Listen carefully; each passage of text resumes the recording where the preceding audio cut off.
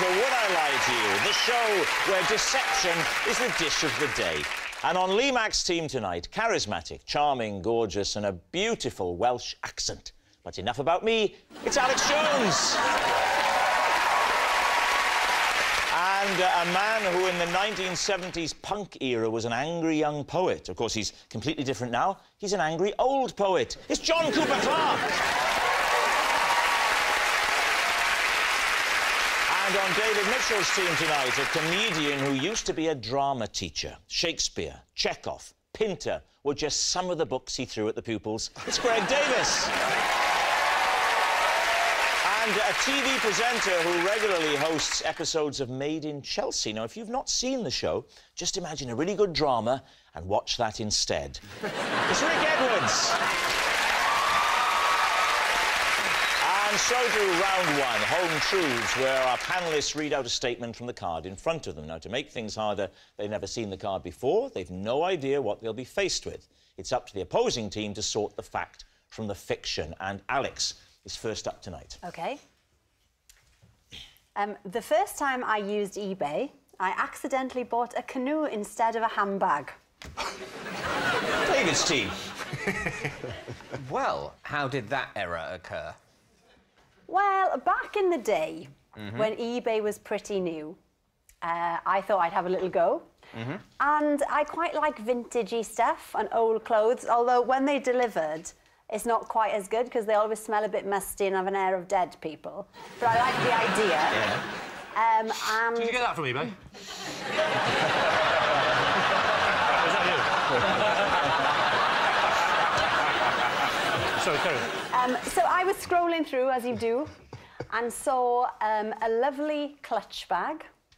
I know I've lost you all already, haven't I? A What's a clutch clutch bag. bag? A clutch bag is a, is a little bag. For that you keeping the clutch. pedal from a car in. you have an accelerator bag and a brake bag. So what are we saying, Alex? You you saw a clutch bag, you were miming putting the clutch bag under your arm to get into it, and then you pressed canoe by accident.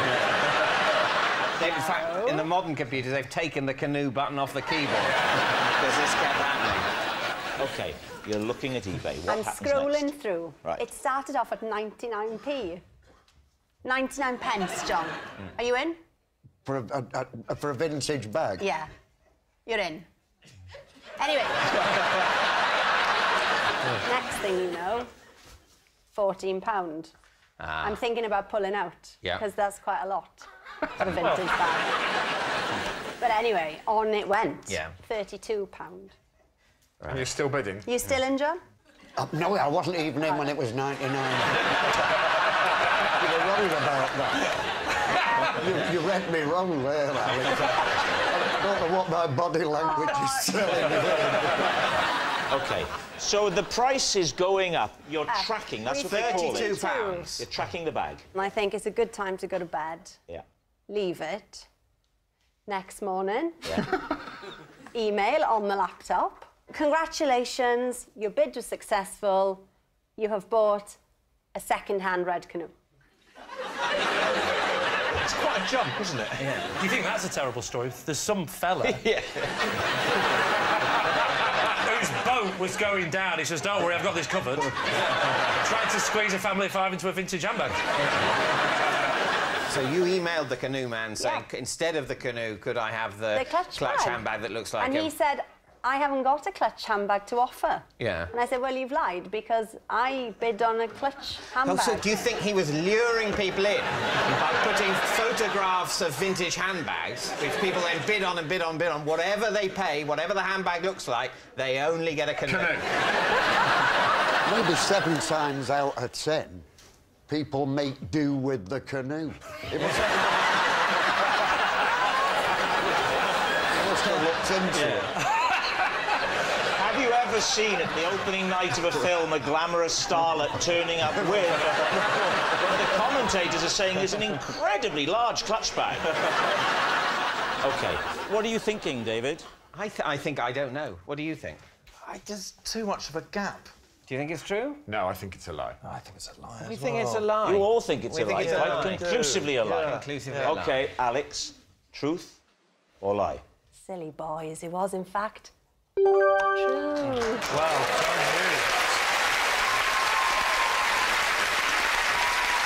Yes, it's true. Alex did accidentally buy a canoe instead of a handbag on eBay. Greg, your turn. I once caused an injury to one man whilst trying to get a different man to say the word vegetables. Please, team. Right, just the word vegetables. Yeah. Do you Why- really like the word vegetables?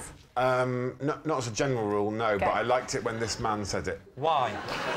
What was it about this man, the way he said vegetables, that was funny? Did he have a speech impediment? or- No, no, he didn't. Uh, He was a very intense man, though, and he was also Austrian. I was with a friend once, and he's a, he was a colleague of ours, sorry, and I overheard him say vegetables, and we both found it incredibly funny. Um, So, can you just roughly give us a, an impression of how he used to say vegetables? Even just he, roughly. sa- he said it exactly like this. Vegetables. And then we happened to be on a coach trip with him, and so we spent the whole coach trip trying to get him to say vegetables Right, so again. where were you? Where were you going and how did Uh, you I was him? on a school trip. I used to be a teacher, so we were. And he on was a he was a teacher. Yeah, he was a teacher. What did he teach? He was the head of languages, and he was. Head of languages. the head of languages used to go. "Uh, vegetable." Vegetables. Imagine, imagine I'm the man. OK, I'm on the coach, I'm, I'm sat, we're, we're driving. Off you go.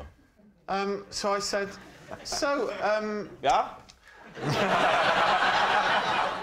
You're very big, aren't you? this isn't like him at all. You're very big, aren't you? That's it.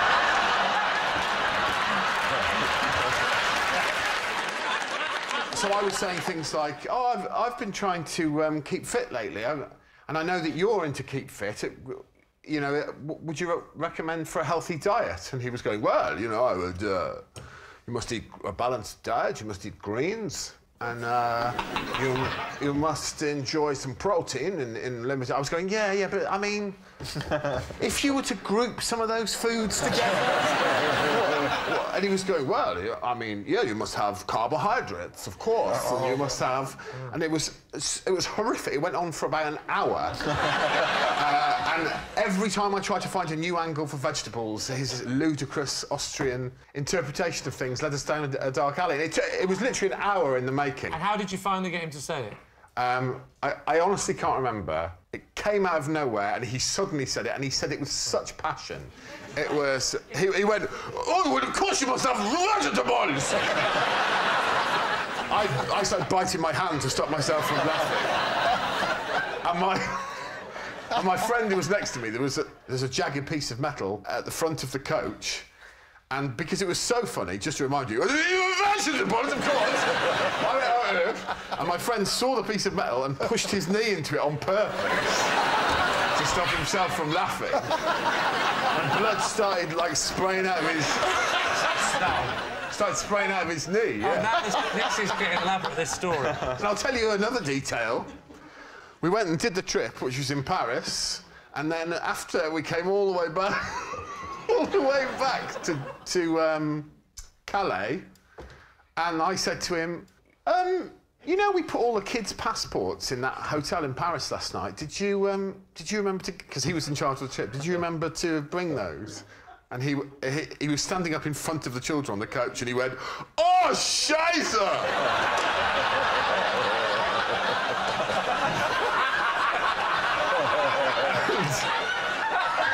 And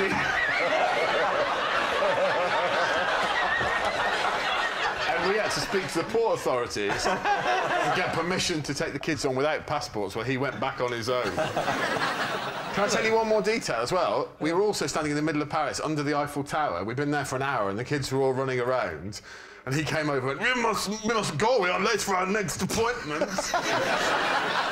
And I said, well, we should just make sure that all the kids are here. And he goes, yes, of course we should, yes. And he turned round and went, is everybody here?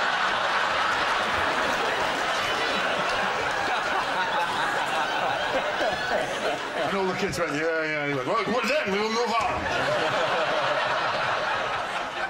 it is vegetables! What are you thinking, Lee? I think it's true. True from Yeah, John. definitely. Yeah. I think lie. You are a fantastic actor, Mr. Greg Davies. Well, so, So- what are you going to say? OK, what do we think, I think you'll find I'm BAFTA Okay. nominated. We're all BAFTA nominated.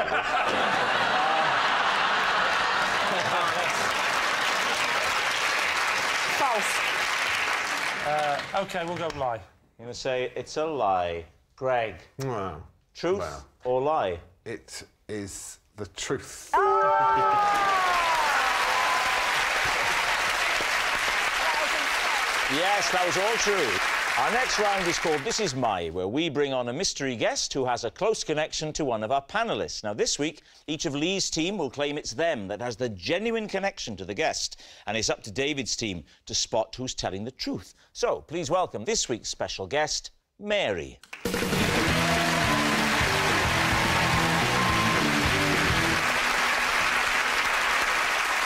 Now then, Mary is the dog, not the handler. Okay? It's Obviously, Mary, 'cause and if I'm Mary had been the handler, she wouldn't have had a dog. She'd have had a little lamb. Okay. Alex, what is Mary to you? This is Mary, a dog, and I had to spend an entire episode of the One Show covering up the fact that she'd been sick on me. Okay, so uh, John, how do you know Mary? This is Mary. I recited a poem at her wedding. There we are. John's married Mutt, and finally Lee. What is your relationship with Mary? This is Mary, and when she was pining for her owners, I sat up with her all night and tried to comfort her with a song. All right, David's team. Where do you want to start? Alex, why was Mary on the on the one show? She was abandoned. So if I know you can't believe it. if a dog is ever No. abandoned in Britain, should it happen, they immediately get a slot on national television just to sort it out, just to check that there are no dogs without homes ever. It was a very light day. Was it a, a day with me, Matt Baker, or was it Chris Evans? It was uh, me, Matt Baker. Um, and uh, Mary came on. It's me, Matt Baker from The One Show. We've learned from that, ladies and gentlemen, is that Rob can't do Chris Evans.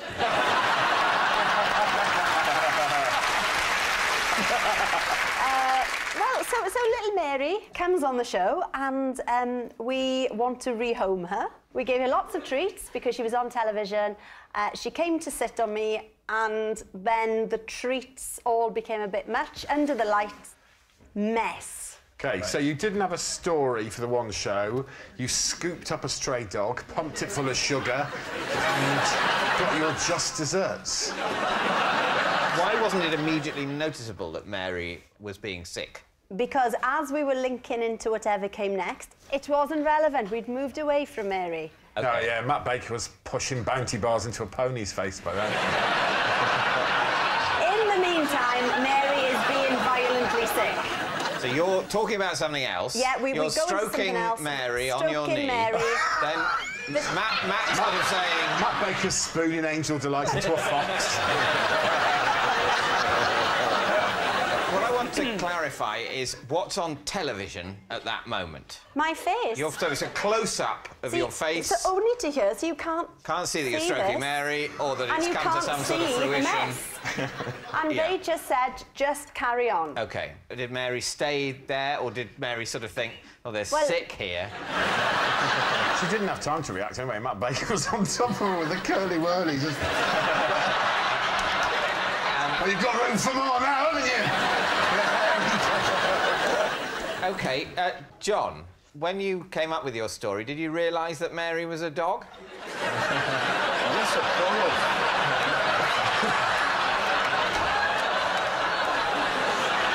Well, you do have dog weddings. Some owners channel their loneliness through events I, like well, that. I'm trying, to, I'm trying. I've been to a lot of weddings. In my, I'm just going through them. Human, human. Do you know? I think they might all be human. Now listen, listen. It Dogs is a do. fact that dogs get married. Dogs get married. But also, it is a fact that dogs don't get married. That's All right. Okay. so, John, you wrote a poem and performed it at the wedding of Mary. Tell us about the experience. Well, it was, it was a poem I'd already written that, that had proved to be very popular at modern weddings. It's, uh, it's called I Wanna Be Yours, and the first verse goes, uh, Let me be your vacuum cleaner, breathing in your dust. Let me be your Morris Marina, I will never rust. If you like your coffee hot, let me be your coffee pot. You call the shots, I wanna be yours. It goes on for another three verses.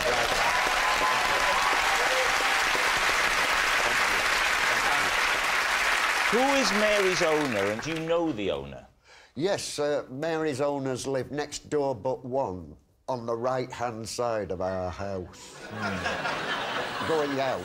Right. If you're going out, she's on the right-hand side. I, think that's a good point. So if you're going in the back door, they're on the left, aren't they? yeah, that's right. And John, I like And that. John, des- describe the what was the ceremony like? It was conducted by the vet,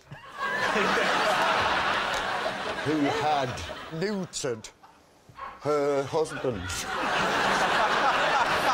It's kind of sick. If the arrangements had been explained to me beforehand, I don't think I would have got involved. Yeah. What was the husband's name? The, the dog that was fulfilling the role of the husband here. Do you remember the name? Tyson. Tyson. Do you know Tyson, uh, the owners of Tyson, or was it, did you only know the owners of Mary? I knew the owners of Mary better, but I, but uh, I did know the owners of Tyson as well. So Tyson and Mary weren't owned by the same people. no. So no. how were they going to cohabit? Because usually dogs Well, tend to live in- with their well- owners well, rather than good quest- setting up home on their own. Good question, David. Tyson lived next door but one, on the left, going out. so they saw, so they saw a lot of each other without actually cohabitating. John, where did the wedding itself take place? Um, at uh, a place called uh, Old Hall. They they breed their own sheep. So as it happens, Yeah. Mary did have a little lamb.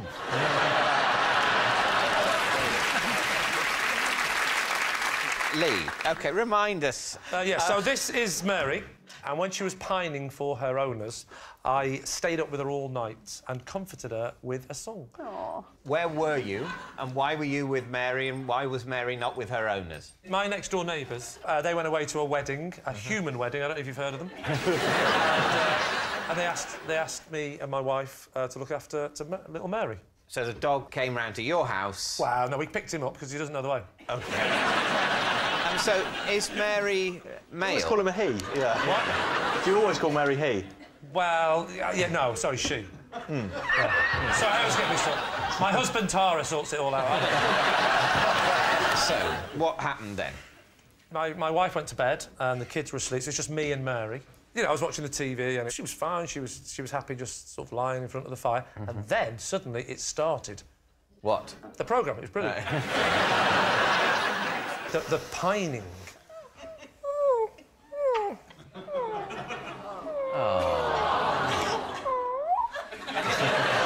So this pining got worse, the pining got worse and worse. That was breaking my heart, it really was, and ruining the show I was watching. So I, uh, it wasn't, it was the one show, I didn't care. And I, I phoned her. And, uh, Your wife goes to bed before the one show. no, David, I, I'd recorded it. You're right. Always record. You record Watch the it one when show. There's literally nothing else to watch. and uh, I phoned up, uh, phoned up my uh, my neighbour who was at the wedding, and I said, "Look, Mary's pining." She said, "Have you tried everything?" I said, "I've done everything. I've taken my foot off her tail. I've." so they said, "Well, you're not going to believe this." They said, "But there is a way that you can keep her calm as she calms down." Do you, by any chance, have the song "Money for Nothing" by Dire Straits?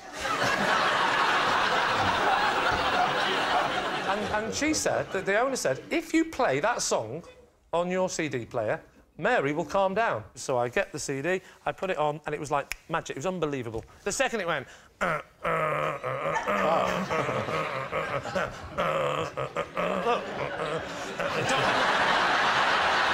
I just say, you won't be needing any more biscuits, I'll take it from here. she, she's calm. She's calming down. All right, we need an answer. So, David's team, is Mary Alex's poorly pup, uh, John's married mutt, or Lee's homesick hound? Well, I must say, I'm, I'm not finding Lee's story as quite as convincing as usual. Um,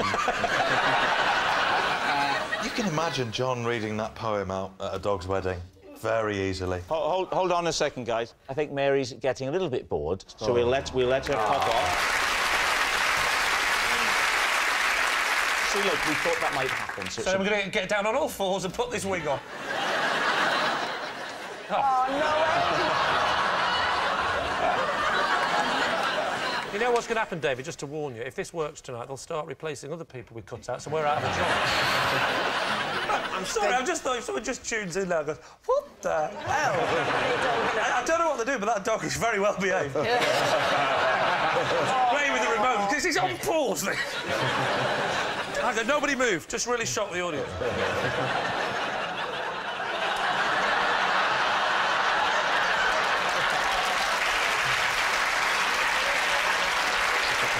Can I just say, that's not going to work if you clap. okay, Greg, what do you think? The dog showing up on the one show. I believe Matt Baker's capable of that cruelty, but I, on this occasion, I don't think he did. No. I mean, I'm erring on the side of John. OK. It's got to be John. I want it to be so bad. Yeah, I do as well. Well, I think we're going to go with John then, are we? Okay, Okay, you're yeah. saying it's John. Right, now, Mary is resting, so I will give Mary's answer for her. Uh, Get behind the cardboard cutout.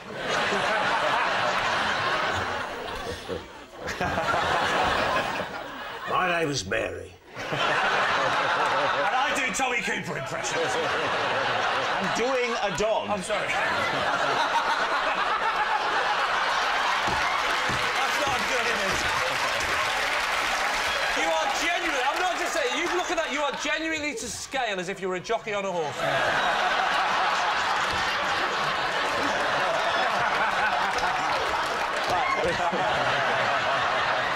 My name is Mary, and I can reveal that I was sick on Alex during the one show. Thank you very much.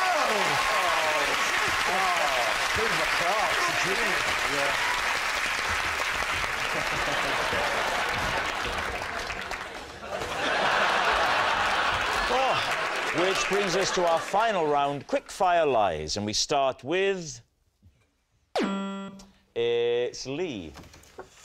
I once took my trunks off in the communal area of a ladies' changing room after getting out of a pool and misreading the signs through my foggy goggles. David's team. So, uh, where was the swimming pool? It was uh, at the leisure centre, All right. Where was the leisure centre? It's next to the swimming pool. it was my local leisure centre. OK. Did anyone see your genitalia? Uh, four people looked, but no one saw it.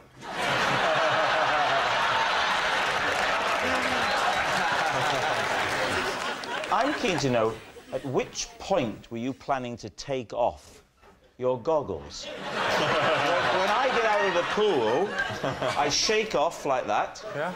I turn back, let them have a nice look, and then I, I put the goggles up. I, I, there's no way you'd keep your goggles on for, the- for the walk. Well, I uh, am short-sighted, and they are prescription goggles, and I wouldn't have been able to. So you were going to wear them home? Not worth them home, no. I was So- gonna- so- I was going to put my glasses on that were in the dressing room. so changing the, the reason you kept the goggles on that stopped you being able the to irony. see was so that you could see. The irony. So you, you get into the changing rooms. Yes. Now it's goggles off like that. Yeah. And uh, So now I'm- you can't see I anything can't now. See, I can't see a thing. yeah. Yeah. There was actually no one in the room. It's trunks down like that. Yeah. Yeah. And that's that's when I heard the voice. And what was the voice? Hello, I live in your trunks. no, um, but that's another story for next week. No, that's the children's book you're working on. I still feel publishers will be nervous. So I go in, I do that, I bend over, speedo's down, and uh, Is, is, that, is that your technique? Goggles off, pants down? I mean, do you not go to your locker? I would take the goggles off, put them in the locker. I wouldn't go goggles off, pants down. Right. Where's my locker? was at the locker. No, I was at the locker. What did the voice say? The voice said, uh, "Excuse me," and I said, "Excuse me, you." Not sure you should be in here. Did you not question yourself at this point? Question myself. I questioned her. What are you doing in the men's changing room? I said. Alex, could you say excuse me in the relevant Okay, way? I'll show you exactly how it went. Come out here. This is exactly how it went. Right. Where, where are we going? I'll walk you from the. Uh, Right, so I've left my child in the pool. Dad will be back in a minute. If they go down, blow. I dry in over here You're, you, uh, you're in the shower, actually. Um, so. Right, get out the pool. At this point, the goggles aren't yet steamed The up. goggles are on. They're fairly a bit wet, and I walked in. And now I'm in there, and then and then I think right, and then I look up with my goggles. It's goggles up, Off, trunks down. down. Excuse me.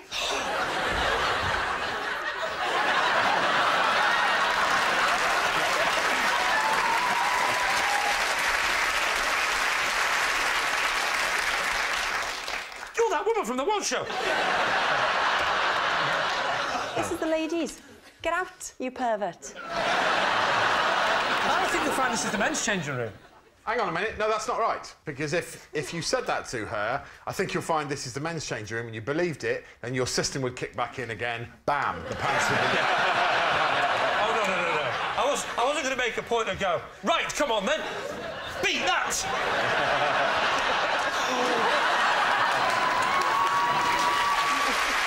so no. So then the woman said to me, she said, "Excuse me." I panicked and I said, uh, I, you know, I said, "Excuse me, this is the men's." She says, "No, this is the women's." And uh, I thought, for a minute, I thought she was wrong. And then I thought, "Oh my God, she." She might be right. And then another woman came in, and then a third woman. But I'm so argumentative, it wasn't until the fourth woman came in that I considered that I'd made a mistake. So what do you think? Was he telling the truth there, David's team? I think it's, uh, without question, a lie. And you In think fact, if it is the truth, I'm prepared to pull my trousers and pants down right now on this show. I'm not comfortable with that sort of forfeit becoming part of the format of this game. So you are willing to say that you are willing to drop your trousers if this is true? Yeah. Can we get you some goggles as well? I don't I don't need them. My eyes will be closed. Hmm. Well, I, th- I think we're saying it's a lie. Yes. I'd like to say that I'm not willing to do anything at all if we happen to be wrong. So you're all It's saying... only a game, for God's sake. So you say it's a lie. Okay. Lee, was it the truth or was it a lie?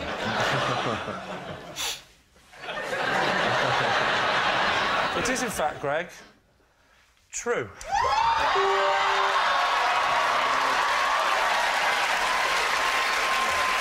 say that I just whispered, could you change it? Because it was, in fact, a lie. Ah!